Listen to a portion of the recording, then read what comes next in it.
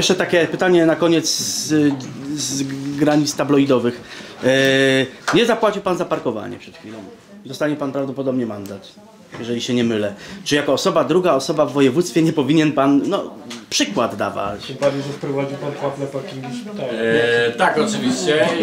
I, I chcę powiedzieć, że zdarza mnie się to czasami, oczywiście. No ja na przykład mandat wczoraj dostałem, dlatego to tak, pytanie mnie e, porusza. Zdarza się mnie. Ja nie jestem osobą, e, która po prostu jest e, Panem Bogiem na ziemi. Zdarzają, zdarza mi się otrzymywać mandaty i mogę powiedzieć, patrząc Panu prosto w kamerę, z wszystkie mandaty płacę. Jak będę miał mandat, pojadę i zaraz zapłacę, bo wiem, gdzie jest Straż Miejska, czyli spotkam się tam e, przy Wodnej Bramie.